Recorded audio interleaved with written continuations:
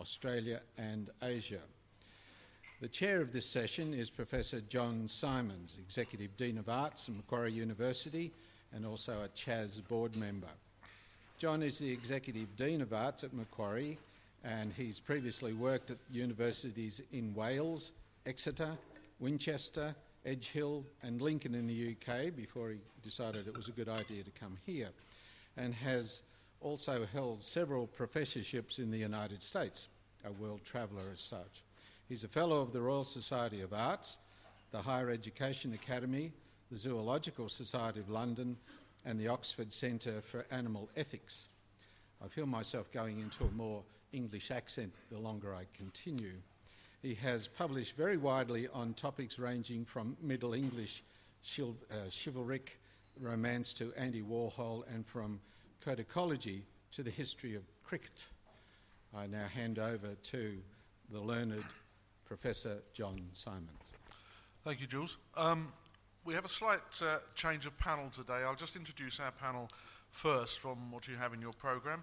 We have Professor Krishna Sen, uh, Dean of the Faculty of Arts, Humanities and Social Sciences of the uh, University of Western Australia. Uh, next to me, um, Professor Jacqueline Lo, uh, Professor and Director of the ANU Centre for European Studies in the ANU College of Arts and Social Sciences. Uh, Kathe Kirby, the Executive Director of the Asia Education Foundation. Then we have next to Kathe Peter Leahy, uh, the prof- Professor and the Director of the National Security Institute at, uh, in Canberra and the University of Canberra. And finally, uh, Monica Attard, uh, a journalist of some repute. This uh, session is an important session. Um, we're going to run it slightly differently. The, the, the panelists will give their, um, make their presentations, and then we're going to throw it straight open to the floor. Um, I guess the Asian century is one of those things which uh, is going to be at the centre of national debate uh, over the next decade. Uh, as geopolitics shifts, uh, Australia has to find a place within that shifting world order. I do a lot of work on India. One of the things that I say in uh, many of the uh, many of the talks I give on India to various groups is that it seems to me, at any rate, and I may be wrong, that uh, while the future of Australia uh, is heavily dependent on the relationship that we manage to make with India, uh, the future of India is probably not that heavily dependent on the relationships that it makes with Australia. Uh, not everyone likes to hear that message, but I think it's very true, and I think it will become more true, and we have to sort that out. Um, those of you that have seen The Australian today will have seen a, uh, uh, a little article about the um, discontinuation or not discontinuation of the teaching of Indonesian at a university in Sydney. And last week, uh, Julie Bishop uh, made some public statements about uh, the commitment of a future coalition government, if such emerges, uh, to further development of the teaching of Asian languages. Uh, these are very important straws in the wind, I think. Let's, let's hope uh, that they're backed up with some real political will and the ability given to those who are going to deliver those things to make them happen. I won't carry on. We're going to straight now to Krishna. Um, Krishna? Thanks very much, um, John. Um, I was, uh, like John, thinking back on the comments that uh, Julie Bishop made at the Deans of Arts and Social Sciences and Humanities Conference only two weeks ago about the importance of the Asian century and um, what uh, commitments the uh, the coalition government was going to make to the study of Asian languages um, and, um, and, um, uh, and study abroad in Asia. And then I heard George uh, Brandis this morning. Um, and uh, the contrast was extraordinary because of the extent to which uh, Senator Brandis's comments were so completely locked in a, um, what he himself, I think, would be quite happy to describe as a classical Anglophone Eurocentric world? Where is our past? It's in Europe's traditions. This was his answer. And, and this actually uh, is quite interesting, and I'll come back to this in a slightly different way. But, um, uh, but because the, the, the topic is not just uh, the Asian century, but there is an encouragement in the theme of this conference to start with the human dimension. I want to start back on a, on a personal journey, as, as it were. As you can probably tell, I'm an Australian of um, Asian extraction. Uh, when I first arrived in Australia in the late 70s, there was an enormous excitement, enormous excitement about looking forward into a non Eurocentric, non Anglophone world because it was the late 70s and it was the beginnings of SBS, multicultural, multilingual radio and television. Now, what underlay that discourse, and I'm so glad other people this morning have used the term discourse repeatedly, so I don't feel like some cultural studies nerd. Um, even ministers are using the term discourse these days. Um, so uh, there was this enormous excitement about this discourse, and that, that discourse, I think, had a completely non instrumentalist basis in the sense that it had. Um, it, it was not about economic development. It was not about political survival. It was about hope. It was uh, about an inclusive, or what I think Waleed Aly would have called an inclusive nationalism. It was about us in a complex world trying to remake ourselves.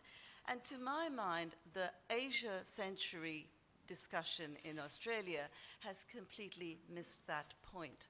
The Asia century discussion of Austra- uh, in Australia has defined Asia as out there, somehow necessary for our economic survival. And the Asia century discussion has further underlined uh, the us them exclusionary, exclusionary nature of Australian nationalism and the concentration on we must learn Asian languages. And I have to confess at this point, I'm part of the language lobby, no question about it. I think we should be learning as many languages as possible.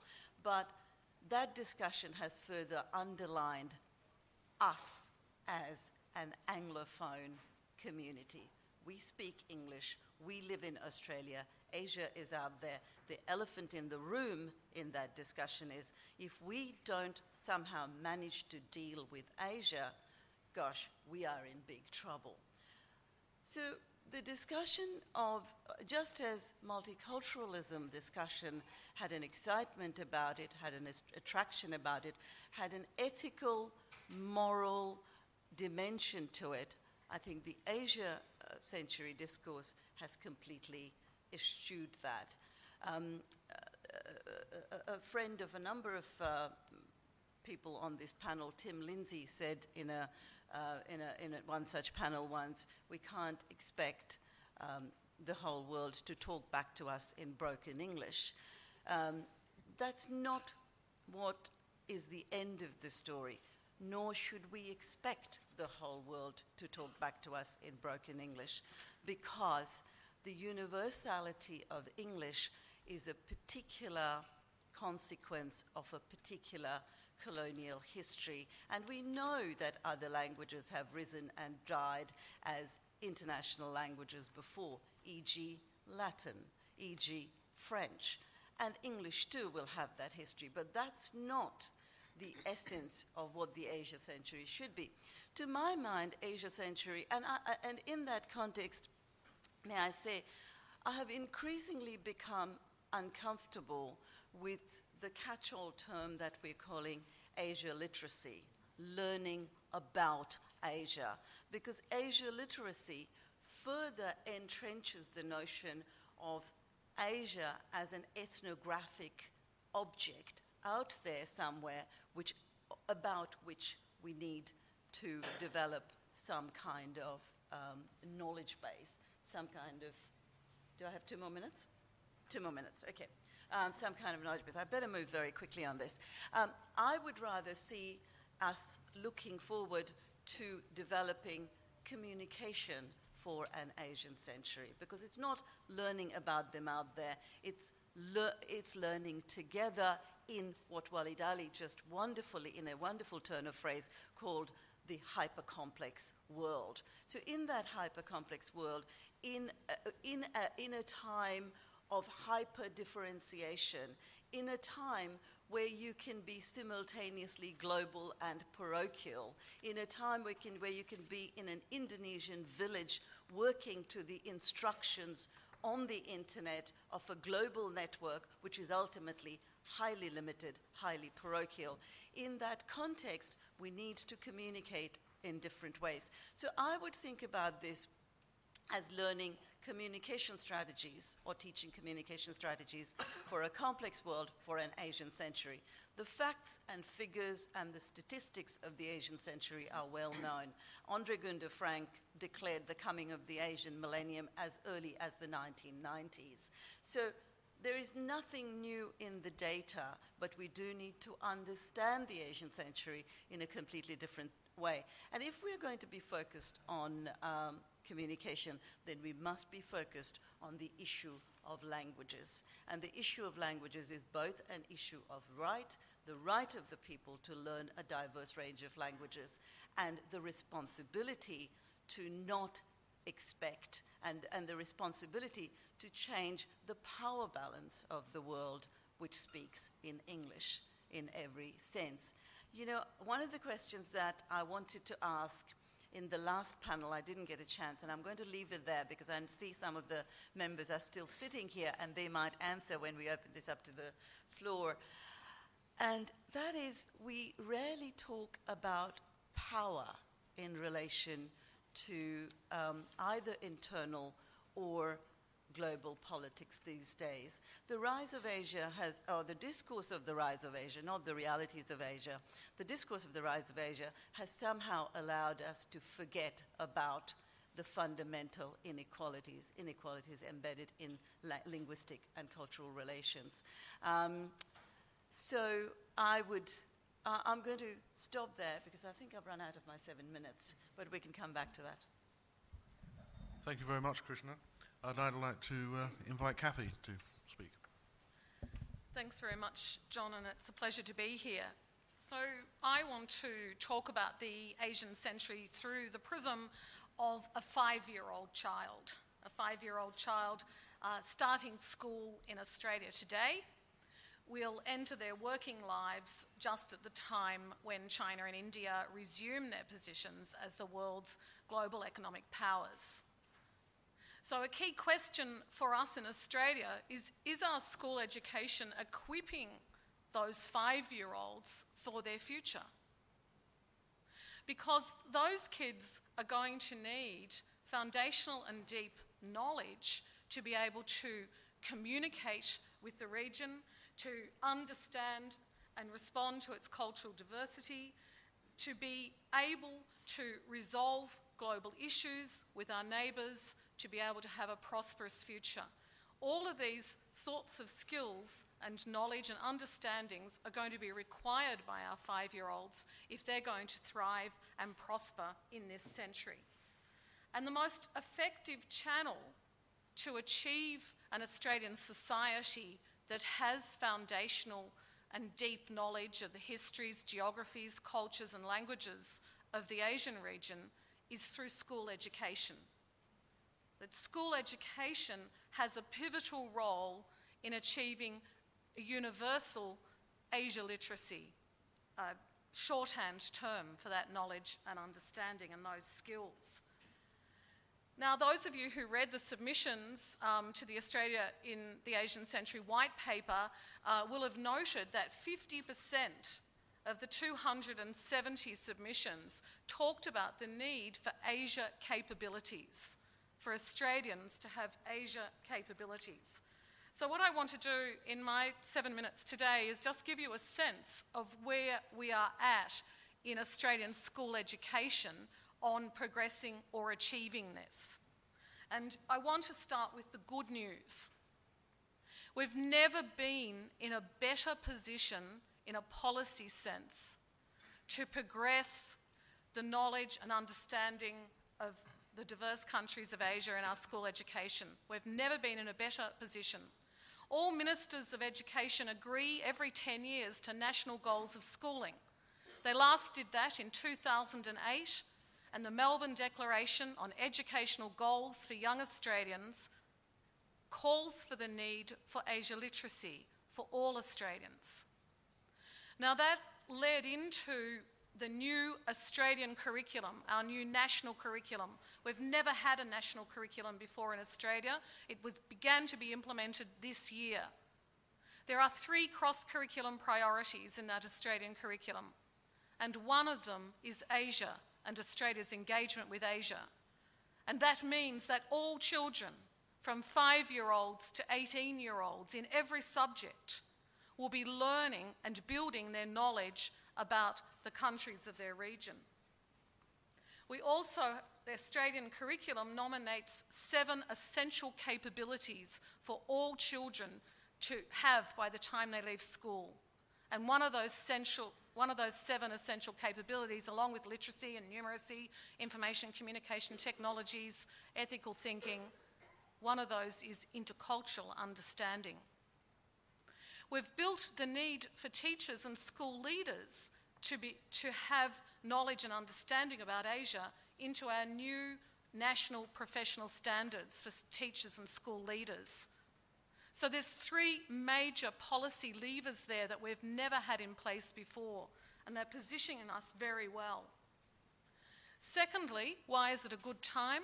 We've never had the sort of state education stakeholder support that we have now.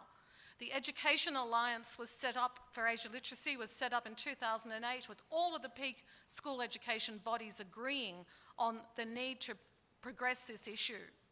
The Business Alliance for Asia Literacy was established in 2010 where all peak business bodies came together and called on school education to ensure that Asia capabilities were being integrated into Australian school education.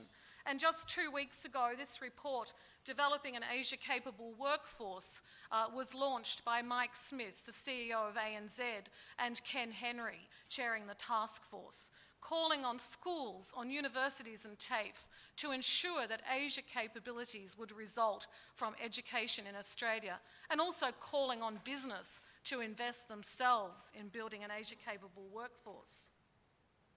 So that's the good news.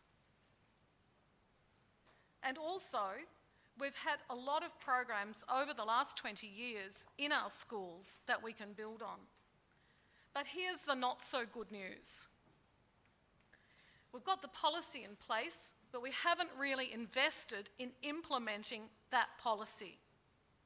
We've only had small scale progress in ensuring that all of our young people are going to have the opportunity to be Asia capable. Student participation in Asian languages currently stands at 18% of Australian school children from year 1 to 12 are studying an Asian language. But in year 12, that figure decreases to 5.8%. And the graph has been going down over the last decade. And some of you will be aware of some of the shocking, quite shocking statistics uh, on this topic. The fact that Indonesian is a language in crisis, declining by 10,000 students a year for the last five years. If that trend continues, there'll be no child doing Indonesian in year 12 in five years' time in Australia. And the fact that we know that 94% of children studying Mandarin Chinese are of Chinese heritage. And that leads to the startling statistic that around 300 children across Australia are learning Chinese who are not of Chinese heritage. That's across Australia today. And just at the time when you would expect young people to be learning about the Asian region in year 12, uh, the Australian Council for Educational Research did a study that showed that only a tiny minority of students were actually learning anything about the Asian region in history, geography, economics, politics, and visual arts. An example of that, Year 12 uh, Modern History in New South Wales, students were asked to choose a country for an in depth study. 2% chose China, 65% chose Germany, and 19% chose Russia. They're quite staggering statistics. The current intermittent and gradual trajectory of improvement is simply not good enough to equip our young people for their future. Why has this progress been so slow? There's a view that past efforts have resulted in nothing. I don't agree with that. I think that there's been critical fault lines in some government strategies. But I think that the key reason why progress has been so slow is that it has been intermittent. It hasn't been sustained. It's changed when governments have changed. We've built up momentum and then we drop momentum. We start a program and then we finish it. We're never going to achieve an Asia literate Australian school curriculum if we continue on in that vein. We've focused too much on supply and not enough about building demand in the community, demand in students to learn Asian languages amongst their parents and amongst the community. We've mainly focused on Asian languages, that tiny cohort of students undertaking Asian languages and we've hardly invested at all in the studies of Asia across the curriculum. So, what do we need now? My final comment, John.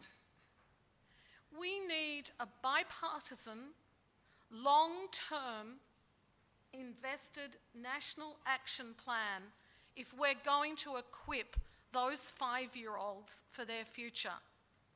We need to work nationally and collaboratively and that means collecting regularly national data. That hardly happens still.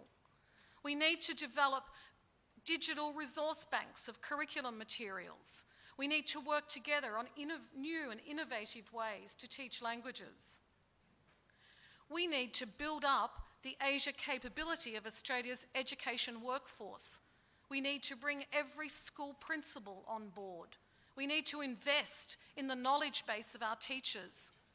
Why did those kids, why did 65% of those children choose Germany in history and 19% Russia? It wasn't because of student interest, it was because of the knowledge base of their teachers. We need to increase students, parents, and the community's understanding of Australia's place in the world and in the region and the importance of having knowledge and skills and understandings about the region in which we live. Now, we've put forward to the Henry Review Australia's Asia Literacy Action Plan, and we costed it. We looked at what had worked in the past. So, in the mid 90s, for eight years, we invested in the National Asian Languages and Studies in Australian Schools program, or NALSAS, about 100 million a year. So we estimate that what we need to achieve is going to take 10 years, and that's going to be an investment of somewhere near a billion dollars. So I'll leave you with this thought. The investment of a billion dollars is an investment of $33 per student per year for 10 years. Surely that would be a small price to pay for Australians, for those five year olds, to thrive and prosper in the Asian century. Thank you. Thank you, Kath. I hope. Yeah, round of applause, yeah. Uh, I hope that uh, that message gets over, and I think the fact you've actually costed it should, uh, should greatly help. They'll probably, uh, they'll probably say 32 would be better, but okay. Um, I'd now like to invite uh, Jacqueline. Thank you. Um, I, I, absolutely concur with, with, with um, Krishna's um, point that we've really approached the, you know, the whole conceptualizing of the Asian century in, in highly problematic instrumentalist ways. Um, this time last year, the Prime Minister commissioned the, the Henry Report, and, and she said that you know, this would be a national blueprint for a time of national change. Um, with Rising Asia, the Prime Minister said Australia has not been here before. And this assertion uh, really was a kind of a groundhog day for so many of us who've been um, studying and, and thinking about um, um, the relationship between Asia and Australia. The Asian century has both been anticipated and dreaded from as early as the 1880s and contributed to the development of the so called White Australia policy that continues to haunt Australia's profile in the region. Those discourses of engagement with the rising Asia and its corollary, the fear of Asian invasion, have played a critical role in the national imaginary. The Ken Henry paper is not the first of its kind.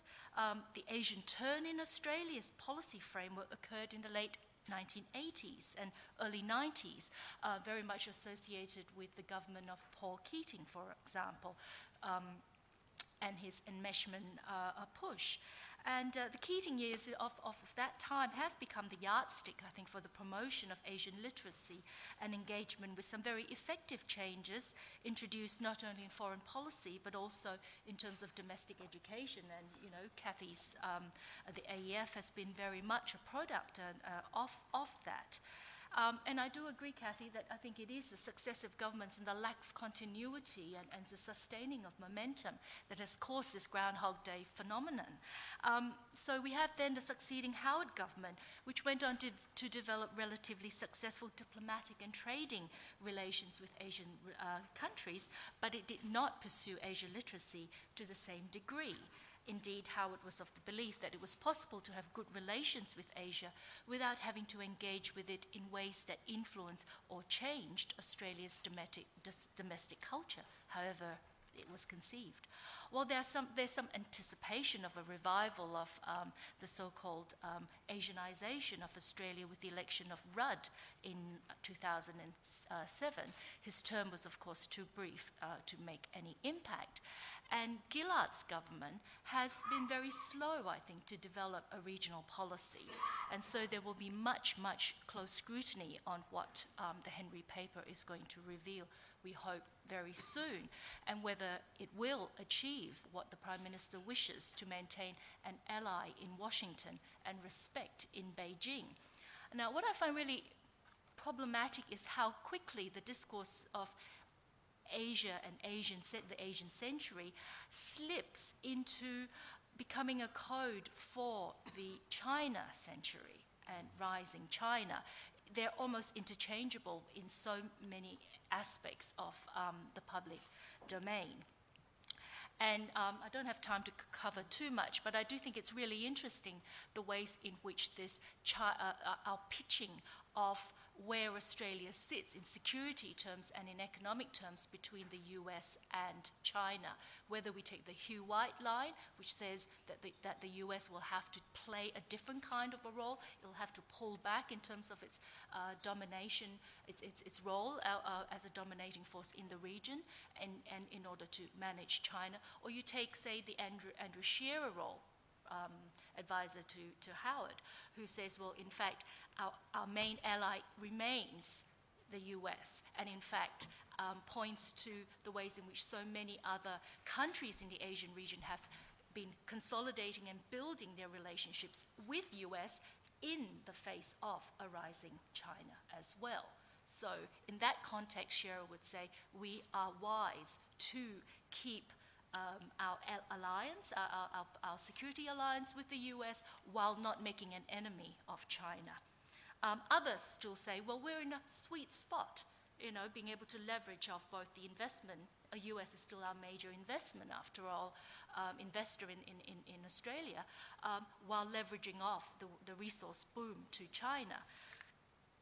However, you conceive and make up your mind about how we play this, the question I, I then want to ask us here is um, what does this mean then for Australia in the Asian century, and more specifically, what does it mean for Australians of Asian descent in this Asian, so-called Asian century?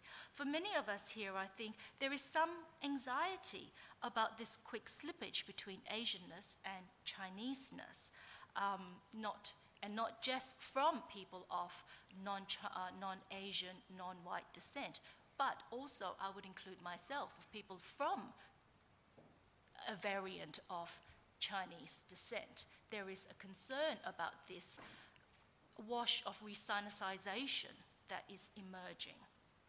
Um, the promotion of Asian literacy, I think I find uh, uh, uh, problematic in this context, then, of assuming that there are these superpowers of, of China and then eventually India.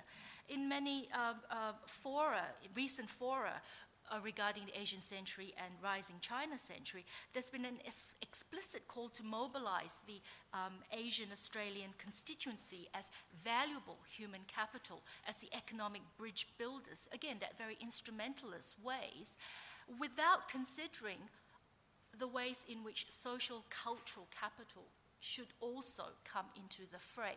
And that, I think, is because the whole Asian discourse, Asian literacy uh, century discourse, has been so instrumentally targeted at trade and economics. And I don't mean to represent the um, Asian Australian constituency as being passive either.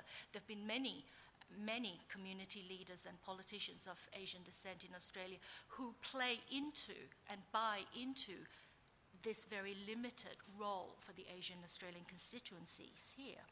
So what worries me is that we seem to have so little sense of history, and I'm not going down the Brandes line, um, but I do think that, you know, it's that, that groundhog phenomenon that I'm, I'm, I'm, referring to. We seem to have so little memory of just what happened 15, 20 years ago when we had that Asian enmeshment push at the same point in which we were having an economic downturn and came head on to meet Pauline Hanson and One Nation and there was a period, an ugly period of very heightened racism in Australia against coloured people of Indigenous and Asian um, ancestry. We seem to have very little memory of the lessons learned, and perhaps we didn't learn it very well then, of how to communicate with various constituencies to um, um, promote, to explain, and to listen empathetically to anxieties.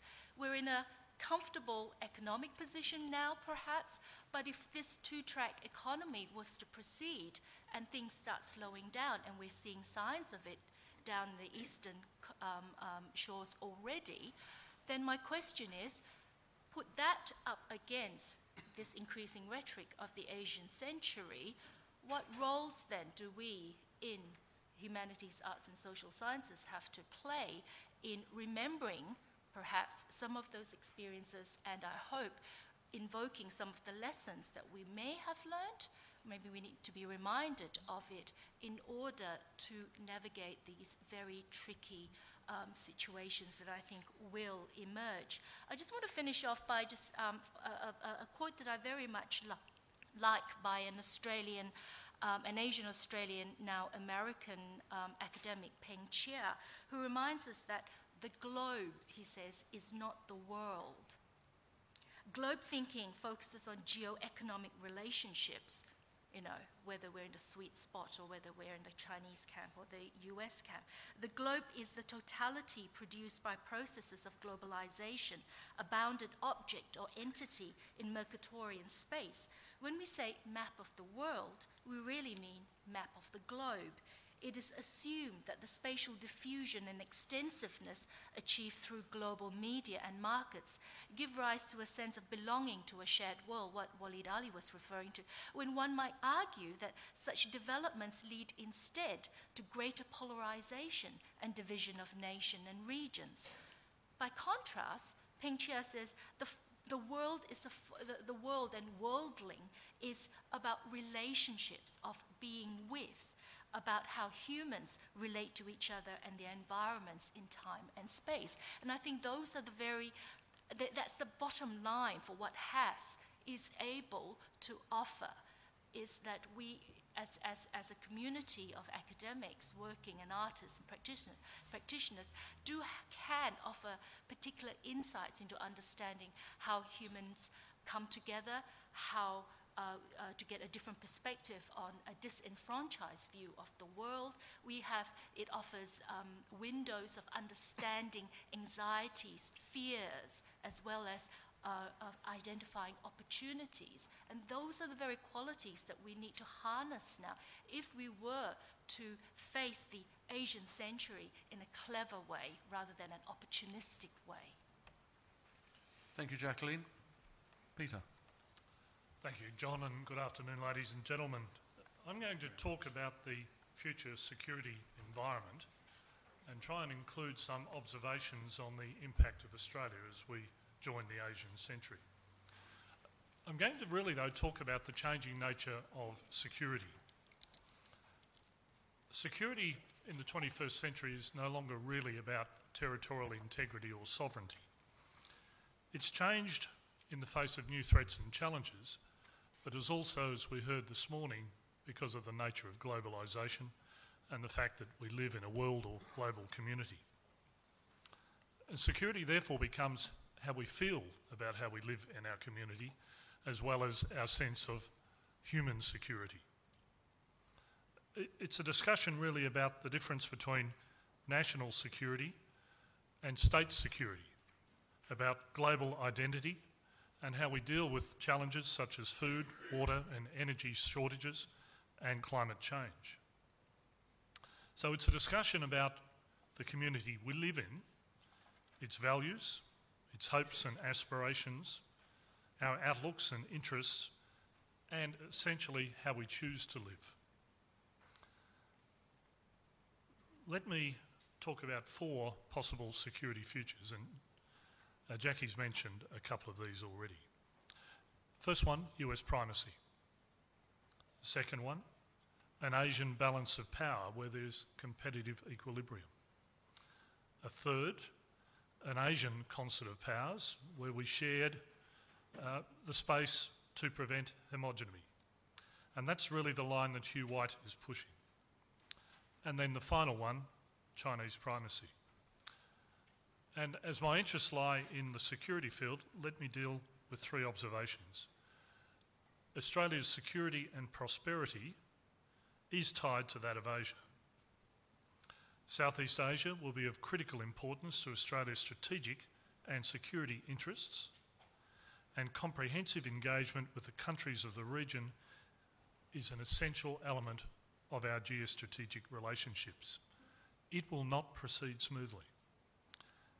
And the relationship with Indonesia is of critical importance and has to be handled sensitively and comprehensively. The second major observation Australia will remain dependent on its alliance with the United States and will continue to encourage the active engagement of the United States in the region. In the longer term, Australian and United States interests may not always coincide. And I would wish that Australia will learn to say no. Australia has gained significant benefits from trade with China and will be faced with difficult policy choices should our interests not coincide with those of the United States. And I think right now we can look at two potential circumstances where they wouldn't coincide, and that's as issues over Taiwan and the South China Sea and the seas further to the north. In 2008, the then Prime Minister Kevin Rudd read into the Parliament a national security statement. And he made the assessment that the distinctions between foreign and domestic, national and international, internal and external have become blurred. And he was right, and that's what Waleed Aly was talking about this morning. That presents us with a really complex problem, and that's the challenge that we have to cope with in the future. And not only that challenge of the future, but it's the challenge of getting there as we look at recent events such as the global financial crisis, round two, US presidential politics, and indeed our own politics next year, fundamentalism in Pakistan, terrorism that doesn't seem to want to go away, and the rise of China. I think we can make the judgment that the status quo has gone and the complex nature of the changes that are occurring will need much more flexibility and creativity in the development of strategic policy on Australia's behalf. What we can be sure of is that the next quarter of a century will be marked by a fluidity of fortunes, uncertainty in diplomatic and strategic dealings, and an absence of a settled pattern of power relationships among the major powers. Many people are not sure of the inevitability of China's rise, describing them as a fragile state. They have problems with their economy, their society, their politics, and we're hearing more about their demographic problems. And all of these things may limit their rise. And we also must cope this year with a new leadership about to assume power, a leadership that we know very little about. Peter Hartcher, writing in the Sydney Morning Herald in 2009, talked about China's economic power, and they are a strong economic power. But Peter spoke about mutually assured financial destruction when he talked about the relationship between China and the United States. So the question is can they exercise their economic power? But certainly, China is a growing military power, but with limited power projection capabilities, and in my assessment, a weak diplomatic power. But right now, it's obvious that China is positioning itself to dispute the current regional security order. And if not managed carefully, this could have dramatic security consequences. New rivalries and tensions are emerging, and old ones are resurfacing. As well as being difficult to understand, these changes will be increasingly difficult to control or influence. And this is especially the case for smaller states such as Australia. Australia must prepare for a wide range of likely futures with the potential for strategic, strategic discontinuity and shock. That was what the 2009 Australian Defence Force White Paper was. It recommended significant changes to our air and naval forces as a means of hedging against the rise of China. Well, that white paper is now dead and buried, sacrificed on the altar of a budget surplus.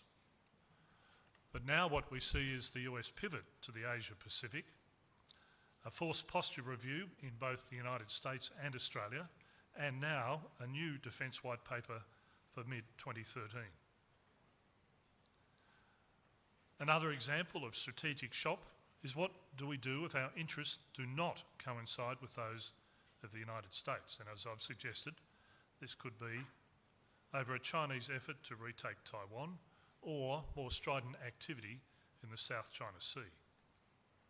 As other speakers have suggested, this puts Australia in a position where we might be faced with a choice between our major trading partner and our major security guarantor. And that's a position we don't want to be. Similarly, what do we do if the rapidly increasing efforts by many Southeast Asian states over territorial and resource disputes in the South China Sea give rise to more and more nationalistic sentiment and turn into open conflict.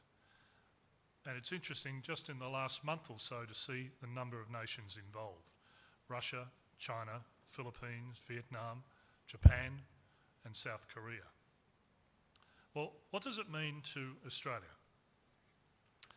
As a self proclaimed middle power, and I'm not sure what that actually means, but we do have extensive efforts, uh, interests we need to establish and maintain an independent and integrated approach to national security based on a clear appreciation of our long term national interests.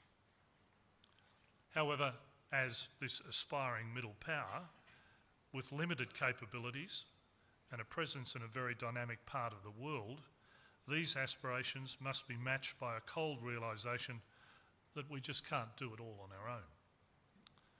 We need to use clever diplomacy, be part of global and regional multilateral arrangements and agreements, and as we've done throughout our history, seek an alliance with a like minded, great, and powerful friend. The issue is how to maintain a relationship with a close and powerful friend, and that's code for the United States, that is at the same time allows us an independent approach to the issues that really concern us here. It's clear that a special relationship with the US requires some skin in the game. And the cost of the alliance is a commitment to support the alliance partner with economic, diplomatic, and military power. In the final measure, it means troops on the ground. In the last decade, that's meant Iraq and Afghanistan.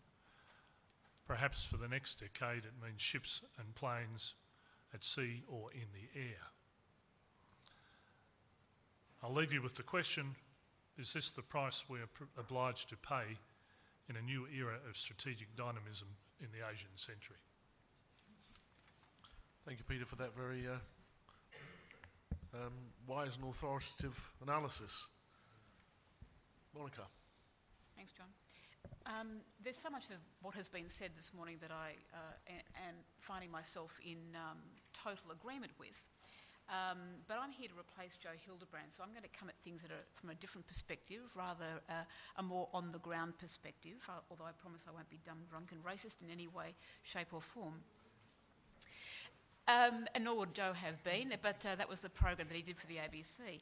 Now, it strikes me as uh, extraordinary that for such a diverse and multicultural nation such as Australia, that it's still so white bread in so many ways, that we still struggle with finding um, things which transcend a national identity that seems to have been constructed for us for any number of political and historical reasons, and that we have still failed beyond a policy level to see the benefits of Asia literacy, generally speaking.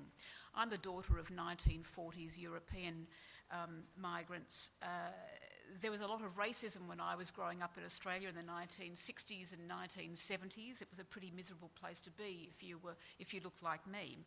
Um, as I grew older, Australia did indeed change. Much has been said about the, its metamorphosis into a thriving multicultural society. I don't think we need to go, to, to go over much ground there.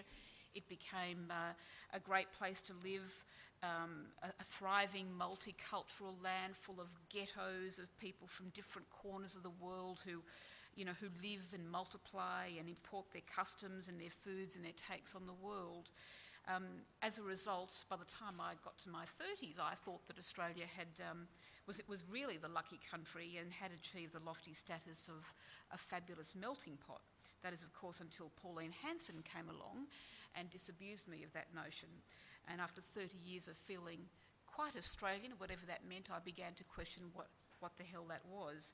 Um, since then, I think again we've come a long way. I'm not sure that a melting pot, however, is going to stand us in particularly good stead, and I find myself in total agreement with Jacqueline on this point of what it means to view the globe uh, in, in, a, in, a, in, a, broad sense. Um, I certainly don't think that uh, Australia being a melting pot has helped us to um, come to grips with Asia in any way, shape, or form. We tend to see Asia as a place, one place, one people, one culture, one economy when it suits us, one tourist destination, although, of course, we know the difference between Phuket and Langkawi as a holiday destination. Uh, we delineate parts of, of Asia uh, which appear economically stronger and more viable for our particular long term um, benefits, countries such as China, but we don't understand the intra Asian cultural, political, social, and economic differences and dynamics.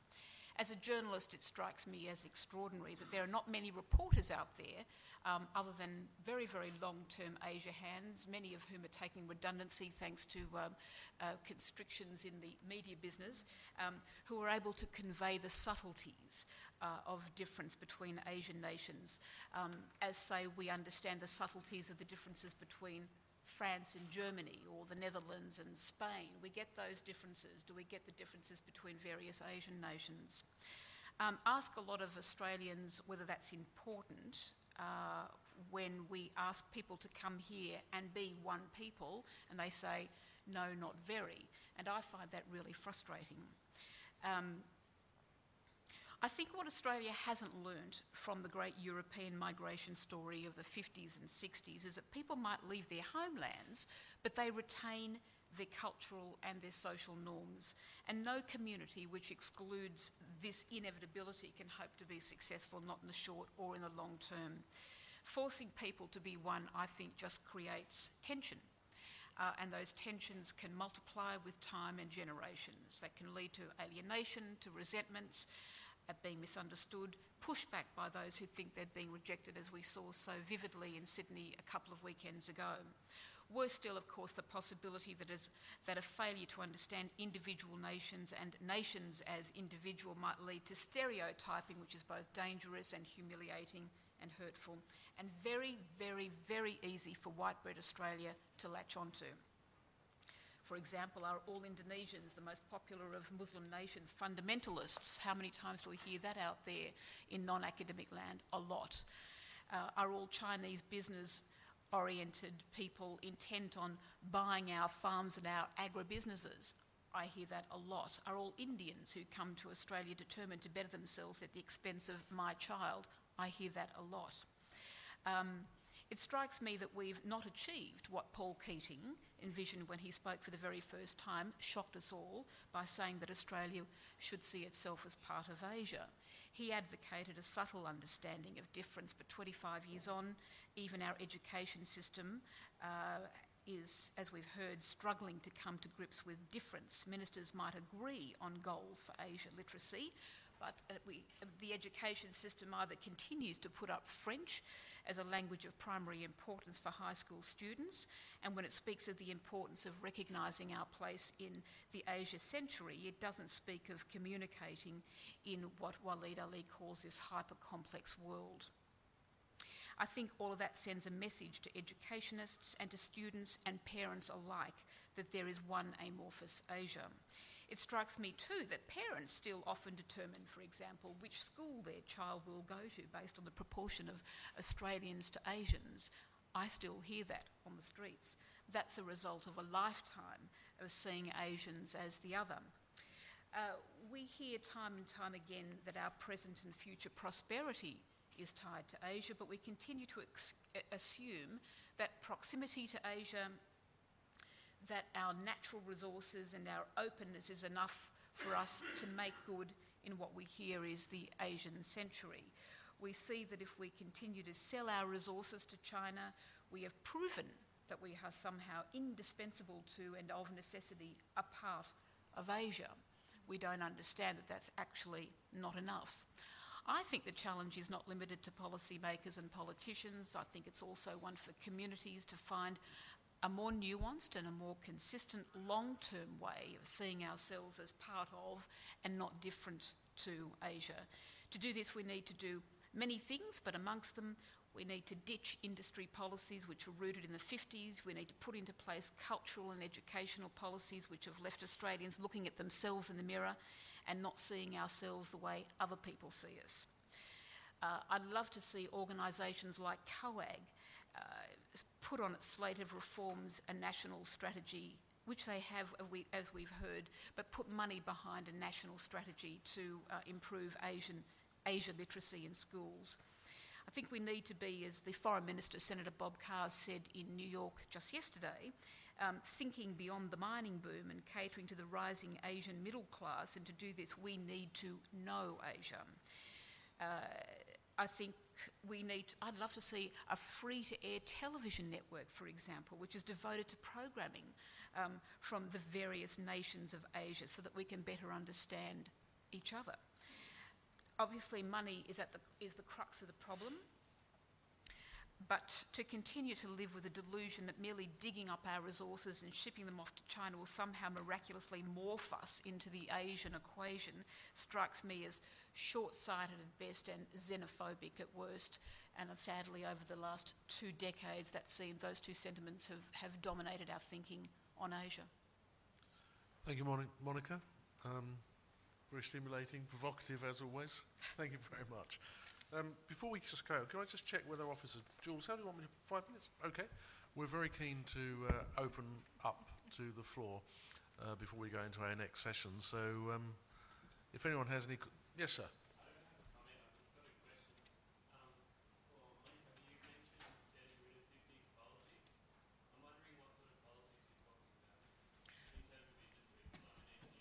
Oh, okay. Well, I mean, uh, uh I won't go into the, into, into, the deep specifics of it because they're for probably uh, somebody um, who's uh, who's more knowledgeable about the specifics of them. But for example, I mean, I think that the policies which determine um, who can invest in Australia, um, although they're constantly revised and the numbers are constantly going upwards, uh, still tend to um, uh, discriminate, as we've seen recently, um, against Chinese investors, for example. Um, we're very, very happy to allow Americans and New Zealanders to come in here and invest to, at, at a very, very high uh, level, um, and in some industries without any scrutiny whatsoever. But the alarm bells go off when it's Asians, or Chinese in particular. Um, so uh, there are also, and I think that there are also the, the, taxation regime in relation to investment also could probably, you know, do with a, a revisiting of sorts. Um, but the foreign investment one, I think, is the one that I find basically shockingly xenophobic. Okay. Thank you. Yes.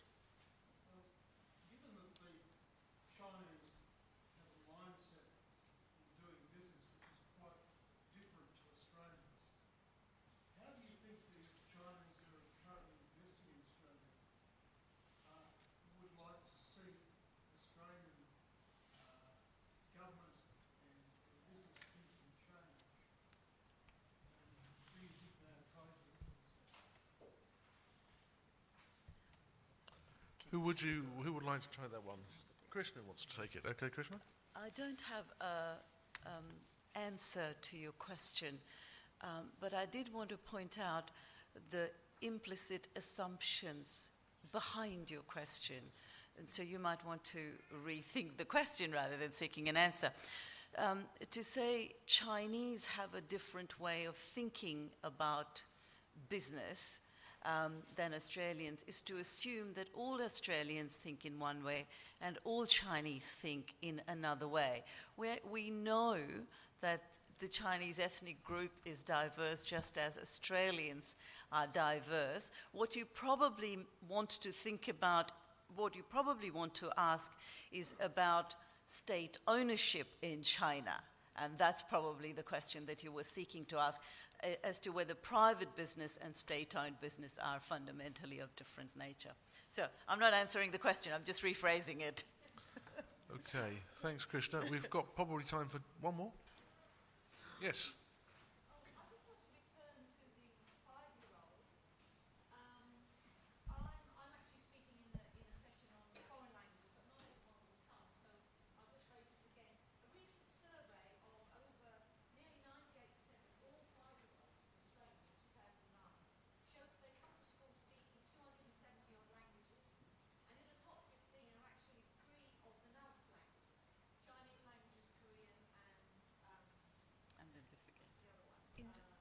Japanese. Japanese.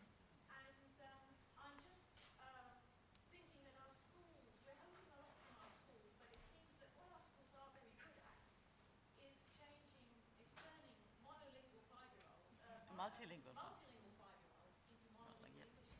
Yep. And uh, we're expecting a lot from our schools because I think the parents of these kids, of course, want the schools to concentrate on English. And what else can you do if you've got many languages amongst your five-year-olds? But there must be a way of cooperating so that, that we learn from the community because the five-year-olds are not speaking these languages out of thin air. They've got parents and a group behind them. And I think schools, if the panel have any idea how we can start making schools learn from the community and with the community and from the community, as well as thinking they're the ones going to provide all this knowledge about Asian background. Can I just make a quick comment uh, there, John? And it's uh, taking on board the points that you're making. One of the things um, that we have not valued in the Australian schooling system is learning a second language. So I gave you some statistics about Asian languages, but in fact, there's only 13% of all Year 12 students who study a second language at all. 13% of Australian Year 12 students studying a second language. We've also made languages largely optional at high school um, after year eight. So children actually get a choice um, about five or six times through their schooling if they're going to continue on with languages. And imagine if we did that for maths. and a lot of people have said what we've got to work at is got to build student demand for languages. And I know it's not a direct correlation, but we don't think we have to build student demand for maths. I reckon we'd have just, well, it is compulsory, okay? So I think we'd have just as many students who'd drop out if they could. The point that I'm using this to make is that we haven't got a high value on the skill of second language learning in our schools. And that's really set us apart. And if I could just make a final point, when Tony Abbott in his post budget speech said a coalition government will have 40% of Year 12 students studying an Asian language. And um, a lot of the media response uh, that I was directly involved with the next day said to me, Isn't that just a ridiculous aspiration? How could that ever work? And it was extremely challenging considering the current figures 13%. But my response to that is that in education systems in most other parts of the world, children are exiting schooling with second language proficiency. 100%, not 40%. Can I also add there just another on the street observation? Could you make um, it uh, quick, Monica? As a, yeah, very quickly, as a, as a, as a parent, that um, it, it, strikes me as extraordinary that in primary schools, when they offer uh, other languages, they offer, you know, for example, where my son went to school, German. Why German? Because it aids in the learning of English. When he got to high school, Latin. Why? Because it aids in the learning of English. Um, but uh, be, as you say, beyond year eight, language is not compulsory. Um, and there are no Asian languages offered.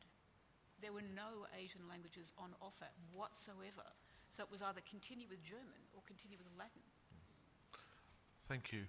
Um, I mean, I have to say, I'm usually my privilege as chair, that uh, when I came to Australia three years ago, one of the first things I attended was a, a, a, session which uh, was bemoaning the lack of uh, language uh, acquisition and uh, learning in Australia and the fact that Australia was a monoglot country. Now, in the part of Sydney that I lived in at that time, it seemed to me that pretty much everyone that I lived near spoke at least two languages, and many of them spoke three. So I concluded that the problem for Australia is that educated Australians are monoglot, uneducated Australians uh, speak loads of languages.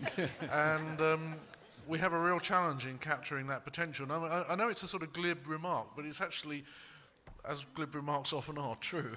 Um, and how we capture that uh, linguistic potential and also uh, not, um, I, I, mean, I think it's a basic human right to speak, to, sp- to speak the language that you choose to speak, frankly. And, and I think we've got to get over linguistic ex- exclusivity as well. I'd like, though, to finish by thanking my colleagues on this panel, uh, particularly for really working hard to, to keep us to time. Uh, we've almost got to where we intended to be. And uh, thank you to you for listening and for the questioners. Thank you.